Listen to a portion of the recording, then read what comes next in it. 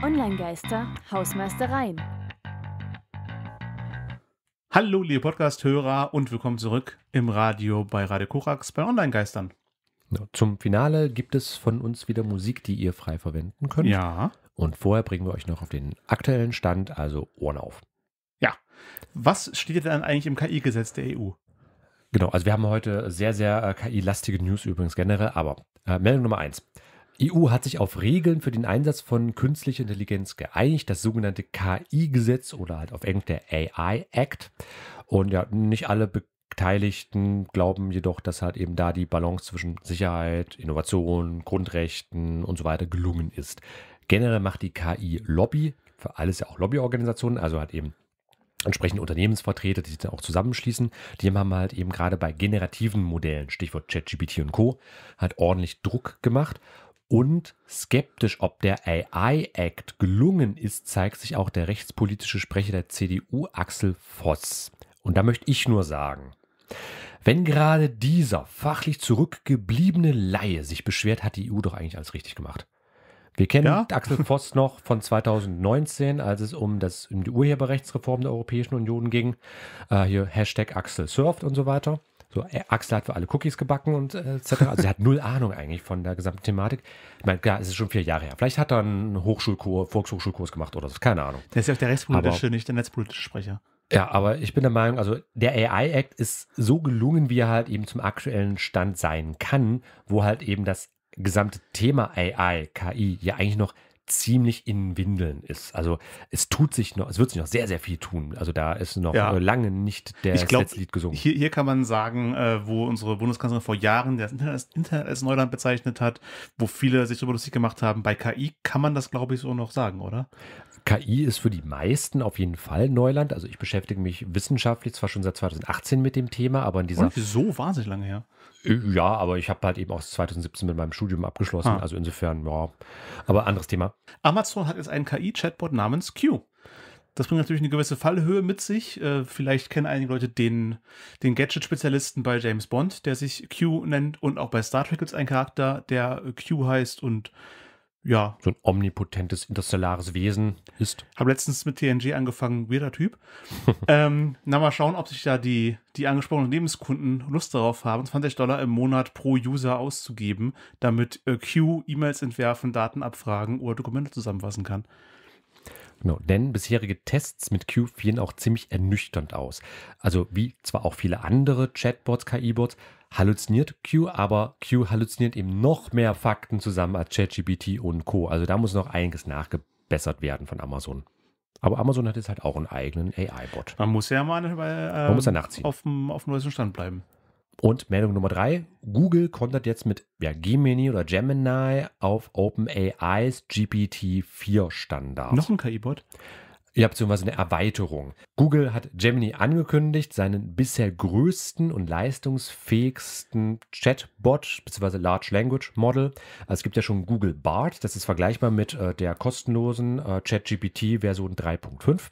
Und äh, GPT-4 ist eine kostenpflichtige Variante Mhm. von OpenAI. Und äh, Gemini oder Gemini, je nachdem, wie man es aussprechen möchte, soll halt eben genau auf diesem Level auch mit sein. Ähm, BART soll künftig ähm, mit einer Version von Gemini ausgestattet sein und mehr als 170 Ländern dann zur Verfügung stehen. Erstmal nur auf Englisch und auch außerhalb der Europäischen Union, erstmal aufgrund von ähm, Rechtsbedenken an einigen Stellen.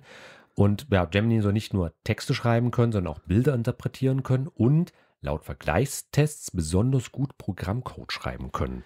Also liebe Informatiker. Da hat der äh, ChatGPT besonders viel Spott äh, erfahren. Ja, aber liebe Informatiker, entweder Konkurrenz oder extreme Unterstützung. Das ist ja immer eine Interpretationssache. Aber da kommt auch einiges auf uns zu. Wobei hab, Programmierer ja oft einfach von fertigen Code nehmen und rauskopieren. Das ist, glaube ich, da kurz und guten Ton. äh, Du hast ja, einen sehr schönen Code geschrieben, darf ich den haben? Na klar, bitteschön. GitHub und Stack Overflow sind dann Freunde. Ja. Aber anderes Thema. Das erstmal dazu. Ja, wir haben noch ein paar Sachen im Ticker. Hm? Studium der Influencerei. In der Gen Z träumen viele davon, Influencer zu werden. Jetzt lässt sich das auch studieren. An der SETU, die Southeast Technical University in der Stadt Carlow in Irland, ist der offizielle Name des Studiengangs Bachelor of Arts Content Creation and Social Media, berichtete die Washington Post. WordPress-Blogs sind jetzt Teil vom Fediverse. Blogs bei WordPress können jetzt zum Beispiel auch über Mastodon oder auch bei meiner Plattform, der Seminar Campus, wir haben da auch entsprechende Schnittstellen, abonniert werden. Schöne Sache. Ja, schrieb TechCrunch. Instagram Threads startete jetzt am 14.12. in der EU. Das war ja vorher noch äh, unklar, ob wann die hier anfangen. Jetzt sind sie endlich da. Wenn ihr unsere Folge zu Threads reinhört, wisst ihr mehr. Und im Vereinigten Königreich haben Teenager deutlich mehr Lust auf generative KI als Erwachsene. Vor allem Snapchats My AI nennt sich dieses Tool, erfreue sich laut einer Ofcom-Studie großer Beliebtheit. Ja, und die Ähm, ja, unsere Meinung dazu, junge Menschen probieren neue Technologien aus und ältere Menschen sind da skeptisch. Boah, krasse Info. Ja, die Aufkommensstudie verlinken wir euch natürlich in den Show Ja, Notes. aber wir haben zumindest bestätigt an der Stelle. Ja. mal. Also es ist nochmal untermauert an der Stelle. Aber No. Und Neues. das aus den Hausmeistereien. Ein Valhalla-Lied äh, habe ich noch, Okay. nämlich von Miracle of Sound. Das dürfen wir Mhm. auch in der, äh, in der Podcast-Folge drin lassen. Gavin Dunn macht sehr viele schöne Lieder, die ihr nicht kommerziell verwenden dürft. Hört gerne mal rein. Und ich glaube, ein, einer seiner größten Hits, der ziemlich durch die Decke gegangen ist, ist Valhalla Calling.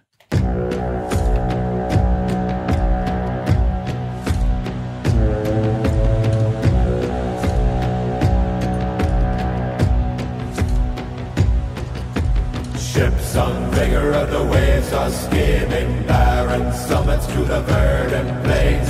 Each horizon is a new beginning.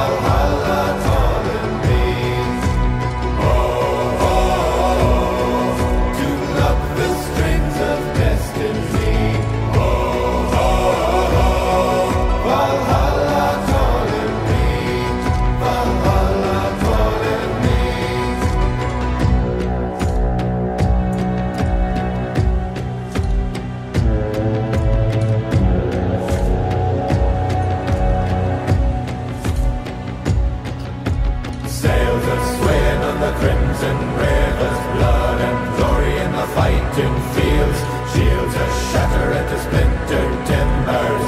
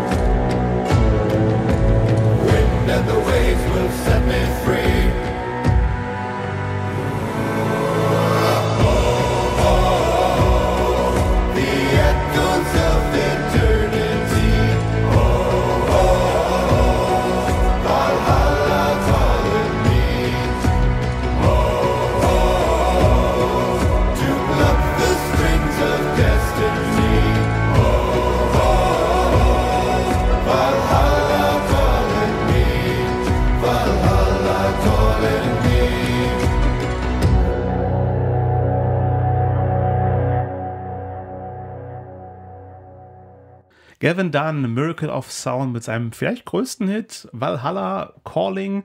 War das dein Wunschlied? Ja. Ja! Weihnachten ist gerettet. Oder Jülfest, wenn man es nordisch der, halten der wollen. Ausstrahlung ist Weihnachten schon gewesen. Ja, dann wurde mir Weihnachten bereits Ja. gerettet. Ich hoffe, ihr haltet ein wunderschönes Weihnachtsfest. Das Mhm. war's für heute von uns. Hat mich sehr gefreut, Christian. Tristan hat mich ebenfalls sehr gefreut und wir hören uns das nächste Mal. Dann geht es um die Social Media Trends 2024.